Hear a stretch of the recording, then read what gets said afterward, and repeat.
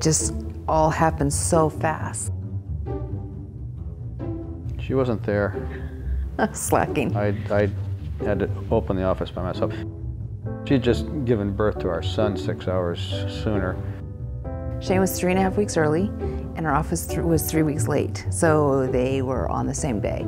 So Shane was born by an emergency C-section on Sunday night, and we opened Monday morning. And so I was obviously in the hospital for a couple days, and Tim was at the office. So we had our own babies that we went to.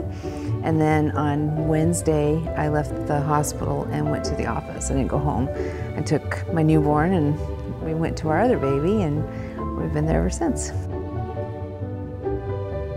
So I made the wrong decision to go to work instead of stay at the hospital with her, for which I'm still uh, paying for. Mm-hmm.